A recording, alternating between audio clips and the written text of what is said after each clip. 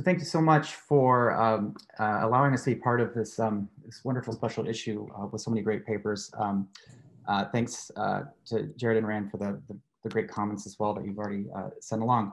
Um, I have to disclose uh, or disclaim that the views and opinions in this paper are the personal ones of, of myself and, and Adair Morse. Adair is now Treasury, so she has to just to have that in all of her paper presentations.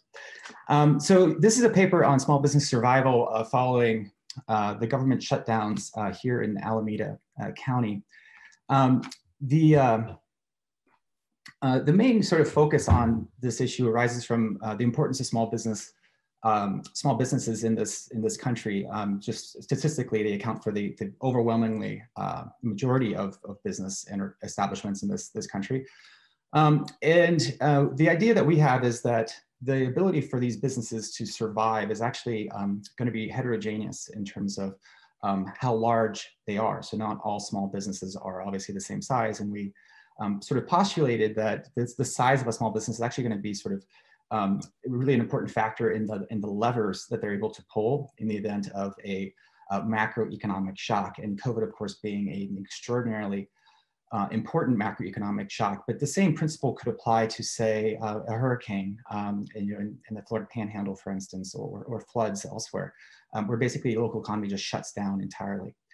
Um, and so uh, part of us is just figure out what are those heterogeneities and how, how might they actually um, sort of affect businesses' operations, and then to, to, sort of take that to some data that we have regarding COVID.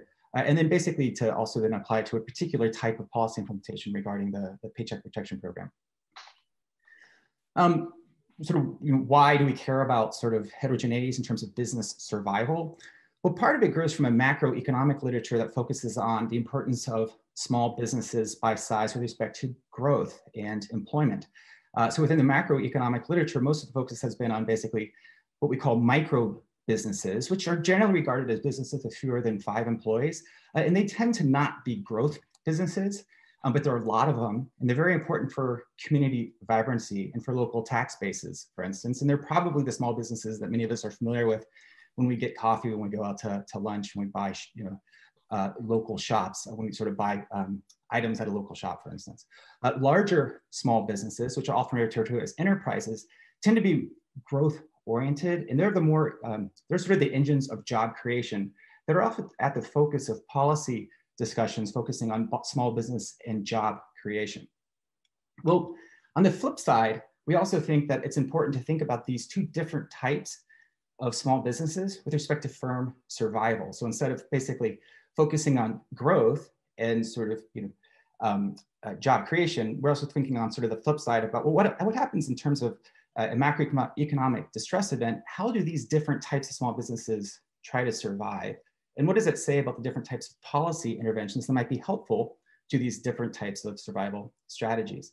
So the reason that we uh, hypothesize that there's heterogeneities in survival uh, tends to do with what, how we think firms probably uh, differ in their survival mechanisms based on their firm size. And so we set up with a very you know, simple accounting frame where we basically say that your survival function is going to depend on your ability to maintain your uh, net revenues uh, in the event of a macroeconomic shock. And those net revenues are going to be a function of your overall uh, total revenues less your labor costs, less whatever, what, what, uh, whatever other fixed costs you have to basically maintain to maintain the survival function.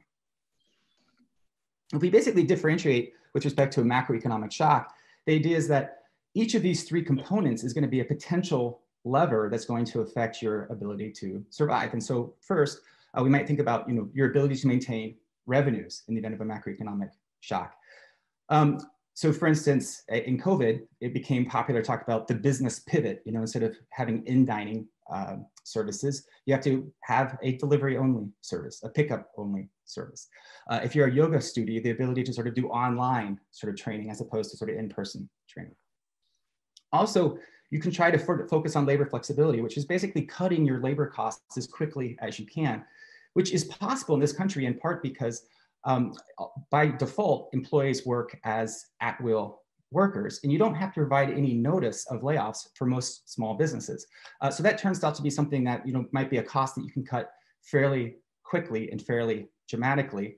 Uh, and then finally, uh, there's committed costs. The idea that you know have lease payments, maybe bank loans that are outstanding.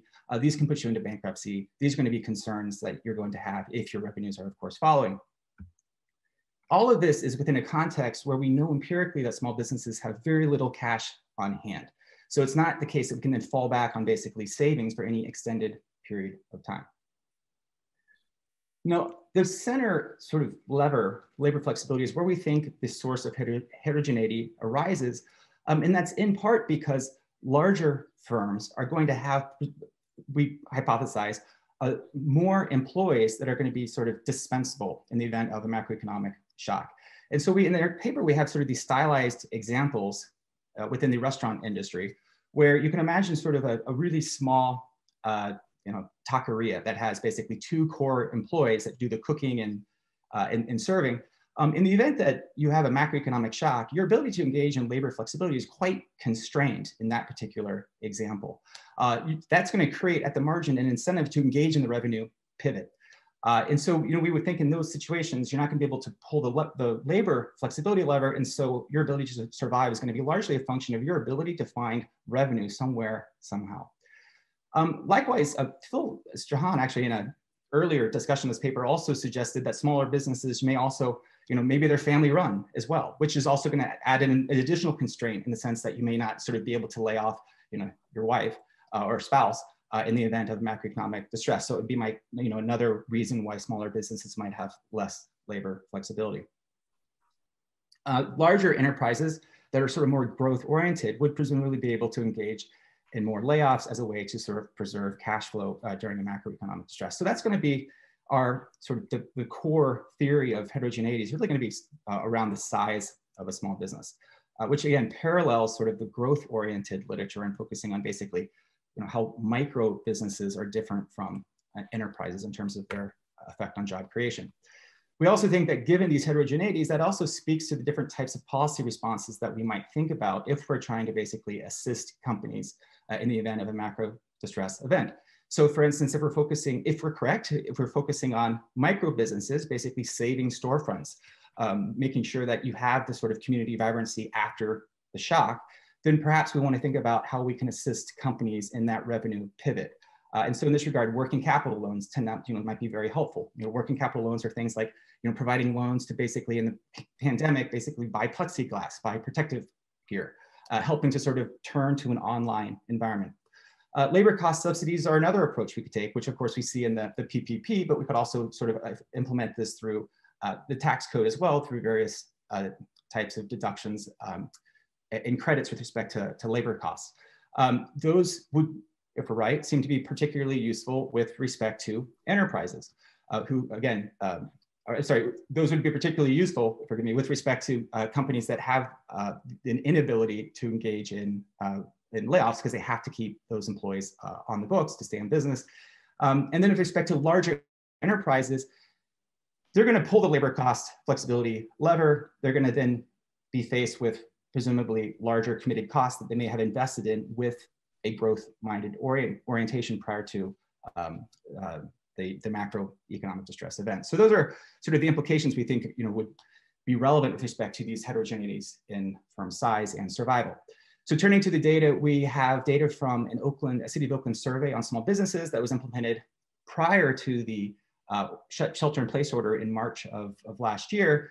Uh, and basically about a thousand firms uh, in the sample, which is approximately 10% of open small businesses.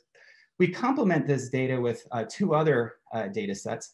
Uh, one of them is SafeGraph foot traffic data, which allows us to basically evaluate how uh, certain businesses were frequented both before and after the pandemic, which is another way for, we, for us to look at changes in revenue for small businesses that we can, particularly those in our survey that we can map to the SafeGraph foot traffic data set.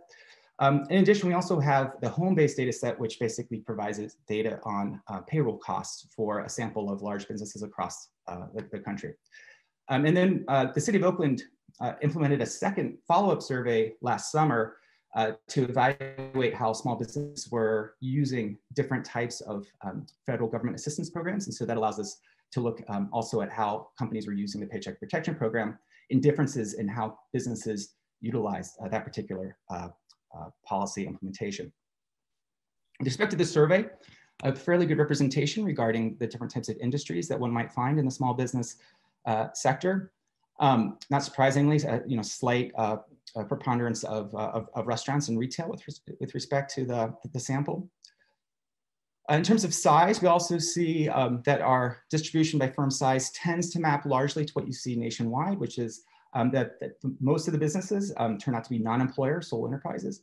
Um, uh, but we also see a predominance of micro businesses as well, which, which we're labeling here as uh, one to five employees. Um, but one thing we've picked up from comments from folks is that we don't, we don't mean to overemphasize that this is basically, there's something magic about five. Um, this is simply a way for us to try to think about how uh, there is this type of business that is going to look and feel much more like a micro business rel relative to a growth oriented enterprise. Um, and so, so when we use, when we basically run all of our regressions, we run everything with um, log employees as a continuous measure. But for presentation purposes, we then translate that into this in the framework of sole proprietors, which we think sort of operate slightly differently because the literature suggests they often consume non-monetary utility. Micro business, businesses, which are what we're going to sort of classify as somewhere between one and five employees, and then enterprises, which are basically larger, larger uh, uh, firms. Okay, in terms of um, sort of the first lever, revenue resiliency, um, we first look at the survey data, and our main measure uh, is basically the percentage decline in year over year revenues as of March of last year. Uh, we also have an um, a survey question with respect to their year over year change in revenue for February, so we can control to a certain extent on uh, pre-crisis uh, trends. Um, and so um, we're going to basically sort of evaluate the extent to which the decline in revenue during the, um, the sort of because of COVID, because of the you know the decline as of March, uh, is a function of whether you're a sole proprietor and the number of employees that you have. Again, we're going to treat sole proprietors as their own sort of group, in part because there is reason to believe that that particular type of organization does function um, or may function quite differently because of the idea that uh, they tend to be non-profitable. They tend to sort of, um, uh, they, they, the proprietors tend to uh, consume more than um, monetary uh, compensation, that there's some non-monetary compensation at work as well.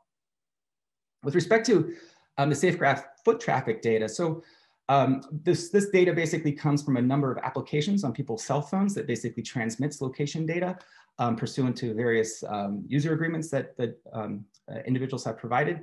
Uh, SafeGraph compiles this information um, and they, they also um, they map it to different points of interest, which we then map uh, to our survey respondents. And so um, this doesn't work so well for, for instance, landscaping firms, uh, but it does work quite well with respect to retail establishments and restaurants where we can basically map our survey uh, companies to the foot traffic data, which allows us to look at on a daily basis how their foot traffic is changing uh, in the period surrounding uh, the shelter in place order. And we're also um, aided in this enterprise by the fact that, um, as it turns out, we can see from this map that uh, there's a, lar- a lot of penetration of safe uh, graph users within the Alameda uh, County area, which is the, um, the county uh, highlighted in, in red. Uh, just overall, um, when you look at the safe uh, graph foot traffic data, you, you do see the types of trends that you would expect. And so this is just sort of overall for a sample of, of, of industries. Um, you see with the, the vertical line is the shelter in place order. Uh, and what you see is what you would expect. Uh, there's a, a, rush to the grocery stores, followed by a sharp decline, and then an immediate decline with respect to fitness and recreation, uh, restaurants. Uh, I, we included electronics and, and, appliances stores also to sort of illustrate that after a period of time, people started to sort of you know invest in their homes, and you sort of see that trend uh, as well. So the main estimation that we're going to focus on is basically uh, daily foot traffic as a function of pre-crisis firm size by employee count uh, pre and post uh, crisis with, with firm fixed effects as well as time fixed effects. Okay, so um, for the survey results, um, so this is basically the regression results that we, we get, um, just focusing on sort of the fourth column, we're able to uh, include some industry uh, and location fixed effects, uh, as well as controlling for prior uh, declines, prior trends in, in revenue. what we see is what we were expecting to see, which is that it turns out that the larger um, the firm, the greater your year over year revenue declines were, um, non-employers as well also had a larger decline in revenues, which is consistent um, as well, which is if to the extent non-employers are consuming non-monetary utility, they may have less of an incentive to sort of, you know, engage in that hustle to pivot. Uh, this is especially the case if it's a non, employer who's maybe perhaps working out of their, their own home, for instance. Um, with respect to the SafeGraph uh, foot traffic data, we also see very similar uh, results as well, which is larger firms seem to have a, a, greater decline in foot traffic, which we're using as a proxy for, for revenue. Um, when we, we look at sort of the survey results just visually, again, sort of just translating those, the, the basically the continuous analysis we did into sort of this, these uh, um, categories of, of business, uh, non-employer micro businesses and enterprises, uh, we can see that it, it, looks like micro businesses did suffer slightly less uh, declines in revenues, but we, we don't intend to put um, you know, a whole lot of emphasis in this. This is largely just uh, consistent with the idea that it's possible, it's conceivable that micro businesses at the margin have a, a, perhaps a greater incentive to engage in that pivot and maintain uh, and maintain revenue. Um, very consistent results when we look at the um, the foot traffic decline in foot traffic, the decline in foot traffic following uh, the shelter-in-place order, as well as we can see from this uh, this figure. Um, most of our um, sort of core findings, uh, we really believe uh, have to do with the labor flexibility uh, analyses. And for these, um, uh, again, we look at the survey, the Oakland survey, looking at the self-reported change in full and part-time employees from prior to the shelter-in-place order to post shelter-in-place uh, order. And um, we're able to control to a certain extent the decline in revenue. So basically leveling on the, the decline in level in revenue to what extent did larger enterprises engage in labor flexibility? They lay off more as a fraction of their pre-crisis uh, workforce than, than micro businesses? Um, this is really a study between micro businesses and enterprises at, at sort of a, a broader, um, at a broader scale as non-employers can engage in this type of enterprise at all. Uh, you can see from this picture that within our survey respondents, um, you know, the vast majority actually didn't lay off any employees, um, but you can see that some of them laid off half, for instance, half or more of their uh, employees as well. Um, the other data set that we use to supplement our analysis is the Homebase uh, data set with respect to labor costs. Uh, and here we focus um, uh, on, on the national set of firms, although it turns out the results are the same if we confine it to the Oakland Bay Area firms.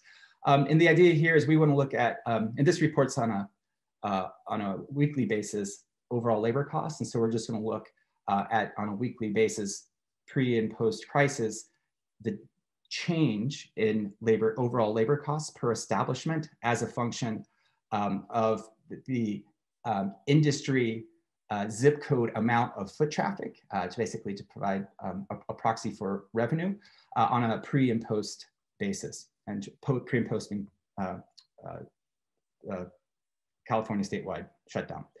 With respect to the survey results, what we see is a fairly um, pronounced difference between what we're referring to as enterprises and micro businesses with respect to their um, engagement with this labor flexibility channel for surviving the crisis. They laid off, enterprises laid off considerably more of their workforce on a full-time basis and on a part-time basis relative to to micro businesses.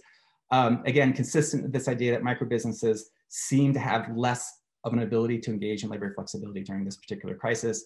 Uh, and we see that uh, same result with respect to the Homebase data as well. Overall, micro businesses uh, maintained more of their pre-crisis payroll relative to firms uh, that we classified as uh, well, relative to, to larger firms.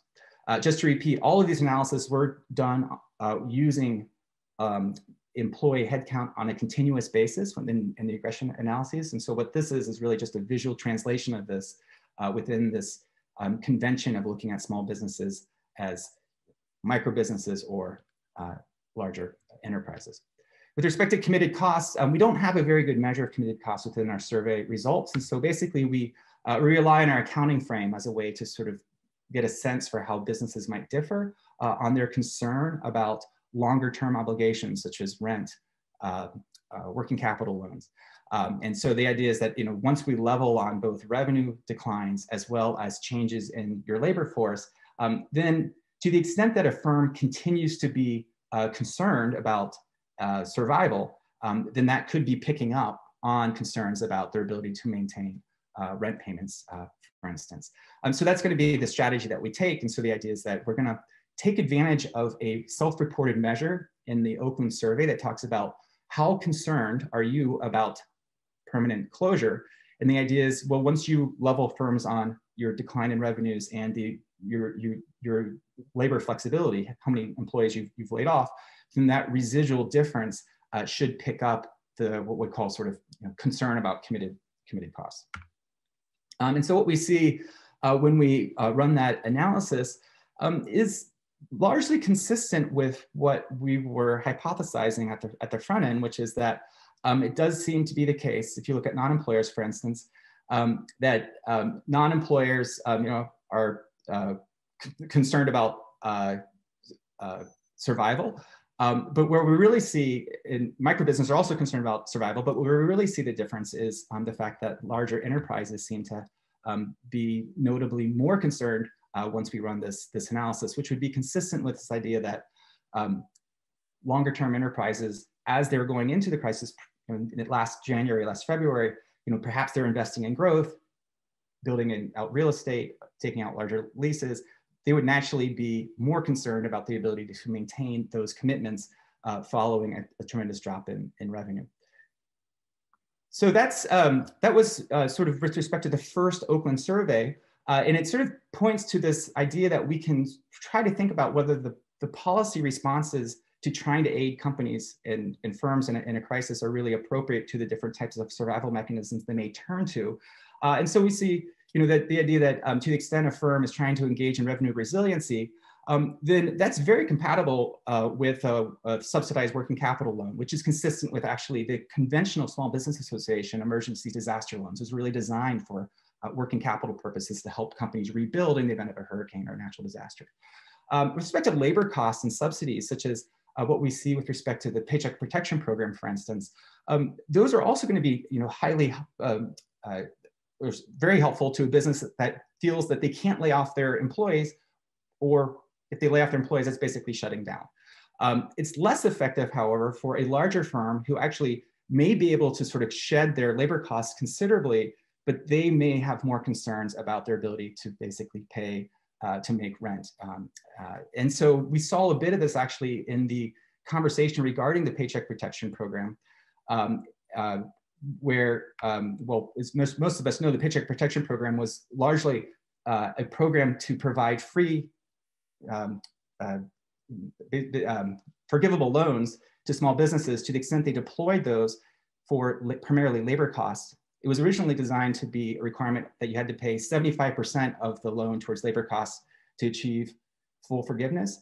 And the small business community pushed back pretty hard on that as basically saying, you know, that is way too much uh, to require us to, to, deploy towards labor since, you know, what we're really concerned about are fixed costs. Um, and so that Congress changed it um, in the middle of the summer to basically to, uh, take that 75% threshold down to, to 60%. Um, around that time, we actually then got a second survey from Oakland, which um, asked the question of, you know, what government programs have you used? Um, and then also, how concerned are you about the ability to um, uh, to permanently close. And we, we the, the, questions were uh, sort of categorical, and these are the, the, the, options. And we were interested in those firms that seemed like they're going to be able to make it through the medium to the long term. And so we focus on these 96 firms that uh, what we're curious about is like what's special about these 96 firms that said they can make it to the medium to the, the long term. Um, and so uh, one of the questions they asked is the extent to which you applied for a paycheck protection program.